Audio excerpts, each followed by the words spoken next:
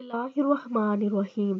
Zainab TV की तरफ़ से मैं आप लोगों के साथ बहुत ही प्यारी वीडियो शेयर करने जा रही हूँ कि जो भी ये दुआ पढ़ ले, इसका हर गुनाह माफ़ हो जाएगा। रसूलुल्लाह सल्लल्लाहु अलैहि वसल्लम ने फरमाया, किसी भी मजलिस में बैठे हुए जिस शख्स से बहुत ज़्यादा बेहुदा बातें हो जाए। वो अपनी मजलिस से उठने से पहले ये दुआएँ मुबारक पढ़ ले। सुबहानकल्लाहुम्मा व बिहम्दिका अशहदु अल्ला इलाहा इल्ला अंता अस्तगफिरुका व अतूबु ए अल्लाह, तू पाकीज़ा है। अपनी हमदो सना के साथ मैं गवाही देता हूँ कि तेरे सिवा कोई माबूद नहीं। चनाचा मैं तुझसे बख्शिश माँगता हूँ और तेरे हजूर तोबा करता हूँ।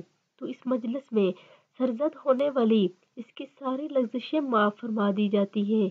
तो आप सभी इस पर अमल करें और वीडियो को भी। आगे लाजमी करें जजाकल्ला